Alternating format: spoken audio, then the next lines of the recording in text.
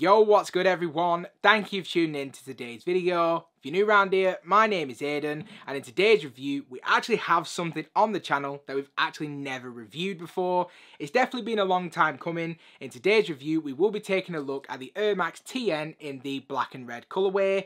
Now, this shoe did recently release on the Nike website. I'm very excited for this one to be the very first pair of TNs we've ever reviewed. So without any further ado, let's go ahead and get straight into the video.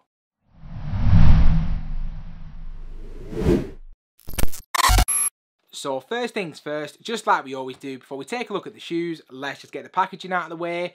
Now for this one, we just get that pretty bog standard Nike Red Sportswear box. You've seen one, you've seen them all, so let's not take up too much time on that.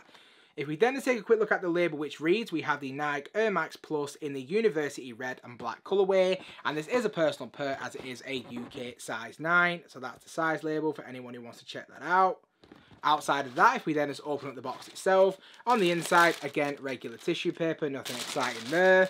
But then underneath that, here we have the kicks, so let's go ahead and get straight into the shoes. So without any further ado, the moment we've all been waiting for, in hand we have the Nike Air Max TN in the black and red colourway.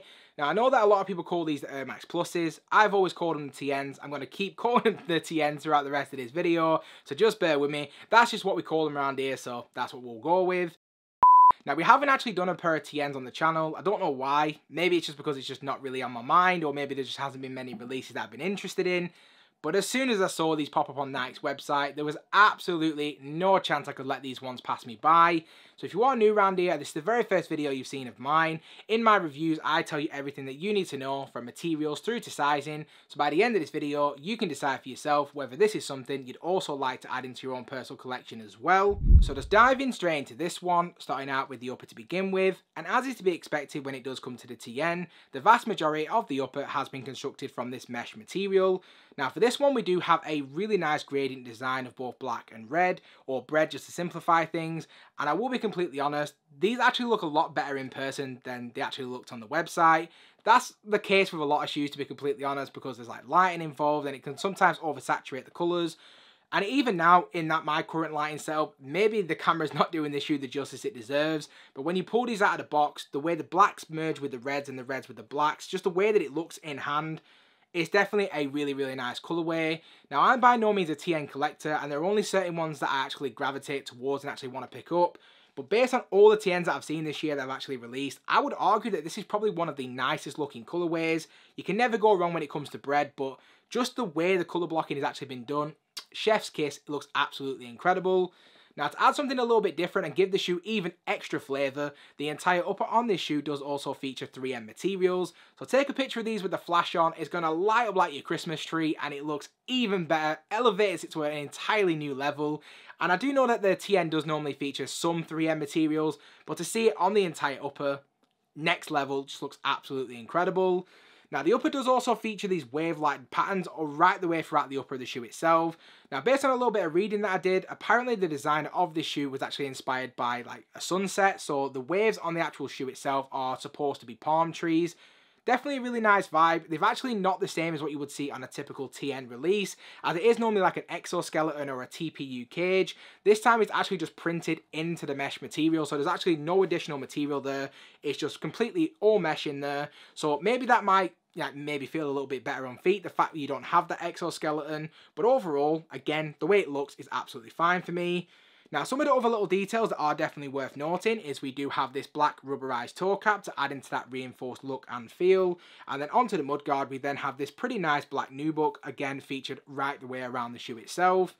As we then work our way into the midfoot portion, we then have, again, more of that black and red colour blocking on the Nike swoosh, which has been constructed from a TPU material, and the same can be said on the medial side of the shoe as well. And as we then work our way towards the back end of the shoe, just like what we saw with the mudguard, we do see more of that black nubuck material featured with that TN Air branding, which just never gets old. I remember having the TN hat back in the day. If I can find a picture of it, I will throw it up on screen, but I remember when I got it, I think I got it from like Sports Direct actually, it just, that TN design, that logo, absolutely incredible. Now for this one, you do only get one set of laces. You don't get any additional sets of laces. If you do a lace swap with a TN, I'd be very surprised anyway. You just get those pretty typical black rope shoelaces, which are doing the job for me. And they're actually weaved between these eye stays, which are actually woven into the actual mesh material. So again, a very nice touch. Now the tongue does also feature that same 3M mesh detailing like we saw throughout the vast majority of the upper. And as we then work our way to the top of the tongue, we do see more of that black nubuck material at the top of the tongue with the Nike swoosh and the Air branding done in, again, that black and red colour blocking. Onto the inside of the shoe, we then have this very nice black nylon material on the sock liner. You know, it's pretty typical if you ever owned a pair of TNs before. Very soft at the touch, pretty decent amount of padding to be completely honest. And overall no complaints there. And then as we do work our way onto the inside of the shoe we do have a mostly all black insole featuring that Nike Air branding in red. Very nice indeed and then just to close that in terms of the details, as we work our way down to the midsole, we do have some visible air units at the forefoot as well as towards the heel. And I do believe that this is actually a carbon fibre shank plate underneath the midfoot. I might be wrong, if I am, do feel free to correct me in the comment section down below. But overall, a very, very nice look, again featuring that black and red colour blocking. As we then work our way onto the outsole of the shoe, we do have that classic TN outsole done in that mostly black and red colour. And again, we do have that TN branding featured underneath the midfoot again. Very, very nice. Now, when it does come to the sizing for these, I did actually make a little bit of a mistake. It's been quite some time since I've actually owned a pair of these, and I completely forgot how they fit, so I went true to size to the UK size 9. Now, as I'm a wide footer, that was probably the wrong thing to do, as it does actually feel quite tight. Now, I can unlace it and I, you know, or loosen the laces, I should say, and it does go on, but the tongue just bulges because of how fat my feet are. So I do feel like going a half size up would have been the better option. With that, you do have to bear in mind that it is quite a long shoe in general, it's quite narrow, so even though the maybe the width isn't the best, if you are a wide footer, if you then go a half size up or even a full size up, the length might then be the problem. I would definitely recommend to try before you buy. So if you can actually try a pair of TNs before ordering these, if this is the one you're going for in particular, just so that way you can understand the best sizing for you. I made the mistake. I might have to actually send these back unless I can work something out and maybe then have to order a half size up. So personally, I'm going to say if you have narrow feet or just regular feet, going true to size, you should be absolutely fine. But if you are on that wider footed end like me, I would definitely recommend to try before you buy, or if you can't do that, just go a half size up just to be absolutely sure.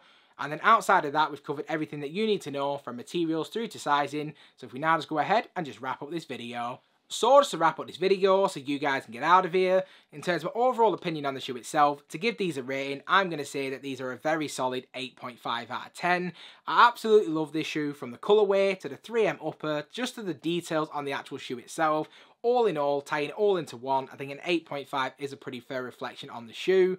I am a little bit disappointed about the sizing, but that's on me, not on the shoe itself. So kind of going to have to watch this space and see what we can do. Maybe I might have to just take the insole out and just bear with my, you know, current size, or maybe see if I can get a half size up if it's still available. Definitely want to keep these in the collection. As I said a little bit earlier, it is actually one of the best looking colorways I've seen all year. So definitely is one that I do want to keep around. I'd love to get your guys' opinion on it as well, so do let me know what you think of my rating, let me know what yours is, and let me know of any of your other thoughts. Do leave all of that in the comment section down below. And if you have stuck around to this point in the video, as always, I want to say a massive thank you.